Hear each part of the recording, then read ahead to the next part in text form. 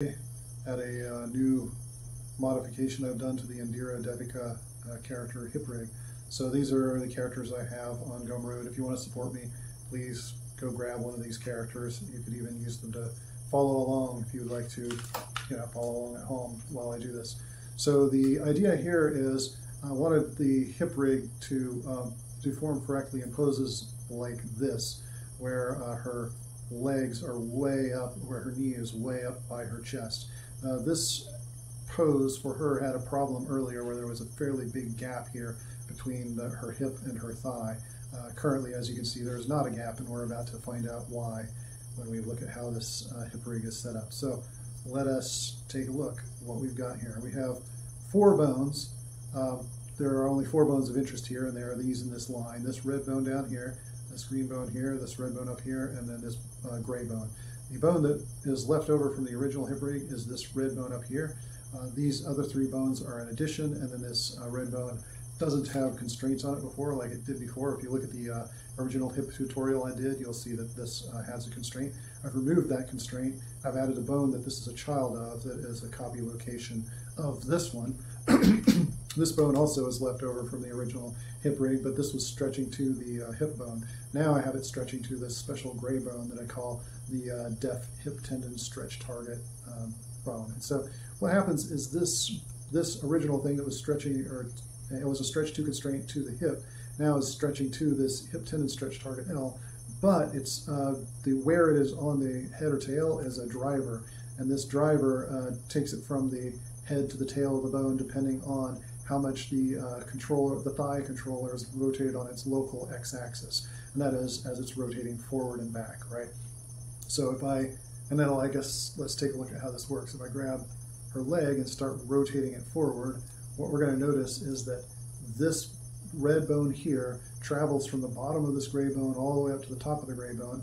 Then this green bone travels from the bottom up about a quarter of the way. So let's let's take a look and watch that. So here we can see that red bone starting to travel up, travel up, travel up. Now it's stretching to the very top of the gray bone. That green bone you can see went from the went from the bottom up about a quarter of the way.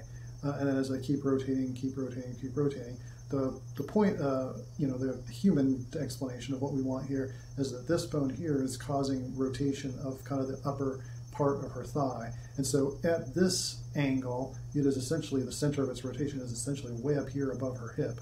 And then as it goes down, the center of rotation is way down here below her hip. And as it rotates back, you can see the leg is kind of rotating back. That geometry is rotating around this point all the way down here. And then again, if I do it up here, it's rotating around this point up here. So the other thing to note is that as I'm uh, rotating this leg, this bone here that we call the uh, def hip bone, it is actually responsible for all that kind of mass in front of the hip, the, the uh, muscle, the fat, the tissue, the tendon, like all that needs to move along with um, the rotation of her leg. So let's take a look at that again. So as you can see, this whole mass moves up a bit, like, and it's being moved up by this bone, which is kind of taking care of all this mass down here, and this bone, which is taking care of all the mass up here. So that may, the, the hip bone itself doesn't move, obviously, when, when this uh, action happens, but all that other mass that's in front of it does move a bit. And it's probably moving a bit too much, but uh, this does take care of uh, a lot of the more extreme deforms and makes them look better than what we had before. So I'll probably tweak this uh, at some point in the future when I do. Maybe I'll make another video about it. But for now, this is what we got. Uh, the other bones that we see here, mm, wow, that looked awful. The other bones that we see here, these two, I'm just kind of keeping for reference. These were part of the uh, hip rig before, I guess. So actually, all these red bones were part of the hip rig before, but uh, these two bones are now acting differently. Okay, so let's look at the constraints and drivers we have on here. So this one has no constraints or drivers. It's just the child of def hip L. Def hip L I've got hidden right now. It's just a bone here uh, that is a child of the spine. So there's a spine here, goes to a hip, goes to this thing. And so that if she rotates her uh, hips, then this will rotate along. So next up is this def hip bone L. If you remember watching the last hip uh, rig uh, tutorial I did, this one had some constraints. It rotated along with the thigh. I'm removing those constraints entirely. No constraints at all. It's just a child of the hip follows tendon L um, bone. This is the MCH hip follows tendon L bone right here.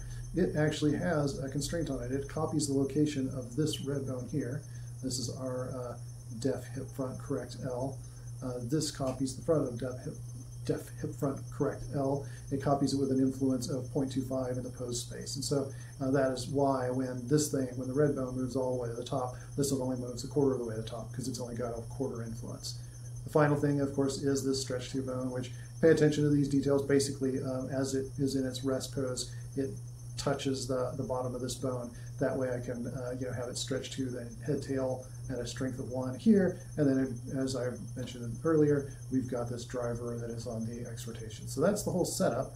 Uh, we kind of, uh, it does do some pretty nice deforms. Uh, again, I'm pretty happy with this and, and the way it looks. And uh, so yeah, if you want to have some nice looking hips on your character, this is one good way to go about it.